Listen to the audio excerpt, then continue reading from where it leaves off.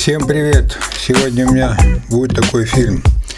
Меня вот спрашивают, а вот этим прибором можно транзисторы КП-327 проверить?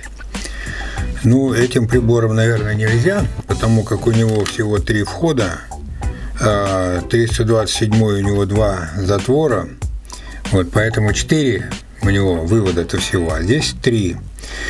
Вот. Но для того, чтобы проверить транзисторы, для этого можно сделать очень простое устройство. Вот она такой вот, в такой коробочке, такой маленькой. Тут можно любые транзисторы мерить. Вот для пробы попробуем сейчас. Значит, ну, во-первых, транзисторы, они должны быть, храниться у вас в железной коробке, потому как большинство из них боятся статики, вот поэтому в железной коробке они нормально. И когда вы их вы вытаскиваете из него, вот берете за эту коробку, а потом уже за транзистор берете, для того, чтобы у вас статического электричества не было, чтобы она разрядилась. Потом многие транзисторы, желательно, чтобы они у вас закороченные были. Берут и вот такую трубочку одевают на выводы, вот они у вас закороченные. Потом было такое предложение, вот когда впаяете их, да, вот, вот видите вот транзисторы, тут фольга у них сразу вот на выводах. Так, это КП какой тут 313. Когда паяют, рекомендуется э, схему уже полностью всю собрали. Вот берете тоненьким проводочком здесь у основания э, накручиваете, закорачиваете вывода. Потом эту трубочку снимаете, потом ее в схему вставляете туда, куда надо, припаяли, а потом проволочку снимаете, вот, чтобы у вас этот транзи транзистор не пробилось. Так, значит, вот они у вас хранятся так. Но я тут все вам проверять не буду, это вроде как ни к чему. Это долгая сильно песня. Я тут кое-какие выбрал. И сейчас я вам покажу, как это делается, проверяется. Так, значит, берем а, книжку какую-нибудь, вот, например, вот такую вот, полевые транзисторы, вот. Э, тут есть эти цоколевки все их, вот, и, в общем, значит, смотрите, что Сейчас я вам сначала покажу, как этим пользоваться, а потом я вам покажу схему этого устройства. Она простая до безобразия. Значит, вот здесь у нас колодочка, вот она она. Тут мы вставляем транзисторы ИС, ЗЗЗ, ИСЭ1. В общем, исток, сток, первый затвор, второй, потом исток, сток, первый затвор. Но если бы была такая у меня длинная бы, вот я бы всю бы ее расписал, вот, ну, такая вот маленькая. А если транзисторы у вас э, большие какие-то, что сюда их не воткнешь. Для этого вот есть еще вот вывода, вот они. И тут подписано исток, сток, затвор первый, затвор второй. Все понятно. Значит, для того, чтобы проверять, у нас есть тумблер – это проверяем по первому затвору, а здесь по второму затвору переключаем. Но это выключатель обыкновенно.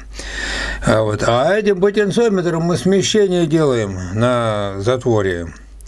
Вот. А для того, чтобы э, прибор какой-то стрелочный был, вот берем вот эту, вот эту вот берем, ставим его на 25 миллиампер измерение тока – вот, и, и все. И вот щупы, вот его, его родимые щупы, вот сюда цепляем. Ну, можно, конечно, стрелочный прибор сюда сделать, вот, но а зачем? Ну, у вас это вот есть, ну и слава богу. Вот, питание подается вот по проводу, вот тут вот, 12 вольт. Так что вот я уже подал питание. Значит, смотрите, что я поставил КП 307Б. Мы его когда воткнули, он нам сразу показал какой-то ток. Теперь берем напряжение на затворе, меняем. Вот видите, ток меняется. Вот до максимума дошел. Вот до минимума. Ну, по этой схеме так. Можно сделать, чтобы он в больших пределах регулировал. Ну, и этого достаточно. Раз он вот так вот регулируется, значит, он у вас исправный. Чего ж вам еще надо-то? Он у вас исправный.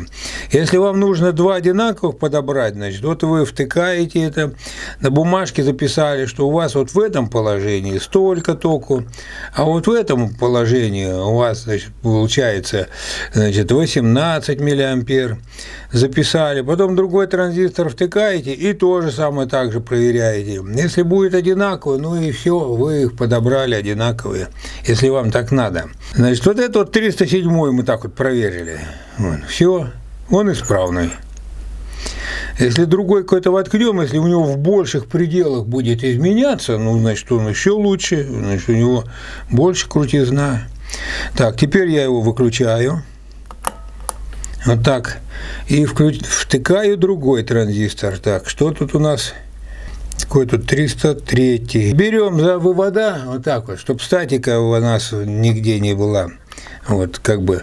Так, этот мы проверили. Он уже пайный. Вот, поэтому тут вывода на них куски олова налеплены. Контачить будет или нет. Так, теперь включаем. Так, пробуем. Ну вот видите, он исправный. Но у него начальный ток столько меньше, чем у того. Вон. Ну, это другой тип, ну, друг, другая марка транзисторов. Так что, что тут, все понятно. Так, теперь выключаем. За вывода берем. Этот выдергиваем. Ложим его. А, вот. 305. Ладно, включаем.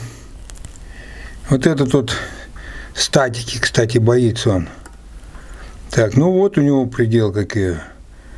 У него крутизна получше, чем у этих.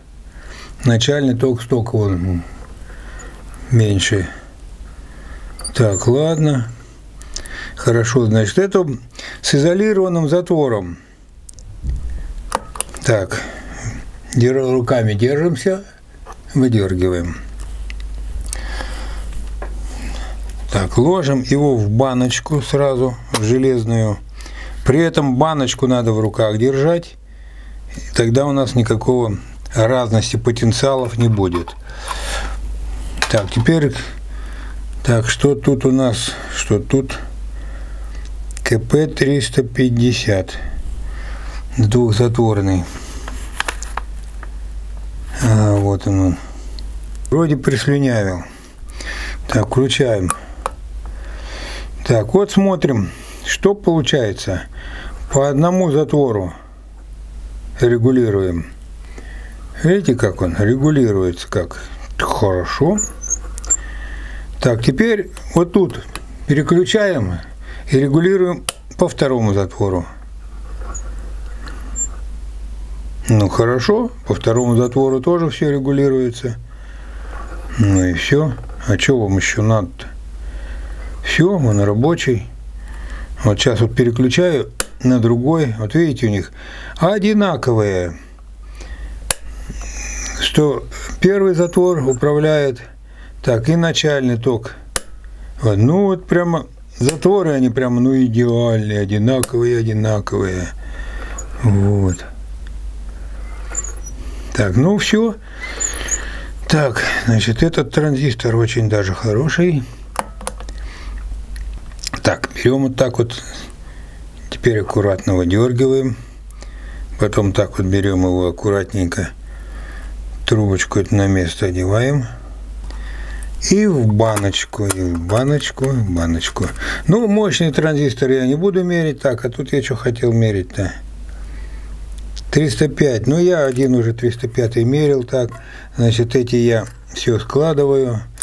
Ну, эти большие, что, ну, их припаивать надо, и все. Да то же самое также меряется. Вот, так что никаких проблем. Так, сейчас я вам покажу, как это все внутри устроено.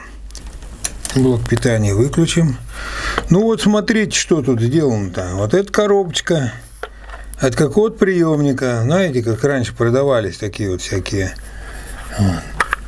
Вот так вот открываем. Значит, раз, два, три, четыре, пять, шесть. Шесть резисторов. Ну и вот это вот переменная еще, вот эта вот, которая крутилка-вертелка. Вот, и, и все. Притом, значит, один резистор это для того, чтобы вот это вот для светодиода, ну, красиво, чтобы было, светодиод горел. Вот, значит, можно его, в принципе, не ставить. Вот, и все. Вот, ну, клемник тут, ну, что, что тут, вот. Так что каждый может такое изобразить. Посмотрим схему. Схема очень простая. У нас напряжение подается какое-то 12 вольт. Э, здесь у нас два делителя. Один делитель плавно регулируемый от 0 до 6 вольт, потому что вот эти величины одинаковые резисторы. Э, здесь у нас фиксированное смещение, э, то есть половинное напряжение 6 вольт. Вот мы переключателем подаем вот это вот 6 вольт фиксированное на второй затвор по схеме, если смотреть по этой. А на первом затворе мы плавно можем регулировать вот это напряжение смещения. И у нас этот ток будет контролироваться здесь. Потом мы переключателем переключаем, вот, меняем местами затворы и то же самое делаем. Так что все очень просто. Теперь по деталям. Вот эти два резистора должны быть одинаковые. Если у вас нет 1 кОм, ставите 10 кОм, значит тут тоже 10. Если у вас 20 кОм, значит и тут 20 кОм. Если тут 100 кОм, значит и тут 100 кОм. Здесь тоже так же. Два резистора одинаковые, хоть какие. От 1 кОма и там э, до 500 кОм можно.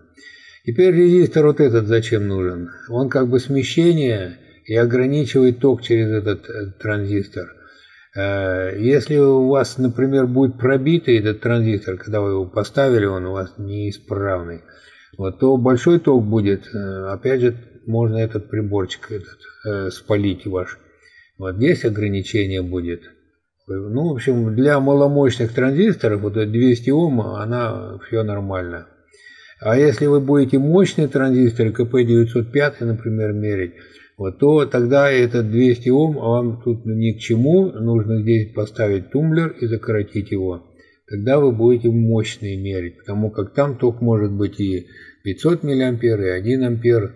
Ну, соответственно, здесь головку ставить ни, ни к чему, потому как вы, если мощные транзисторы, то на цешке вы поставите нужный ток, вот, а на маломощных вполне достаточно 25 мА, чтобы предел был. Вот. Ну и все, больше что тут рассказывать. Все и так понятно. Теперь для таких, для дотошных, есть такой вариант. Если вы хотите вольтамперную характеристику сделать, ну, это для ламп вольтамперных, вот здесь по-другому это будет называться, но это, это там э, язык сломаешь, как это назвать, э, то сделается так, график. Вот берем и по вертикали, по вертикали мы расписываем, какое мы напряжение подаем. То есть вот этот потенциометр мы можем отградуировать, и будет у нас 1, 2, 3, 4, 5, 6 вольт. Или же мы тут напряжение будем мерить, вот это. Значит, по вертикали мы можем откладывать вот это вот напряжение какое, а по горизонтали у нас будет тот ток, какой у нас будет измеряться вот это. Вот. Ну, или наоборот, как вам хочется эту график нарисовать. Вот. И вот так по точкам мы можем сделать этот вольтамперную характеристику этого транзистора. Потом его выдергиваем, другой втыкаем, и там тоже так же. И мы потом можем сравнить, уж если нам сильно-сильно хочется точные ну, подобрать транзисторы. На этом я заканчиваю. Большое спасибо вам за просмотр. Подписывайтесь на мой канал. С Новым годом вам, с наступающим. Ну, пока.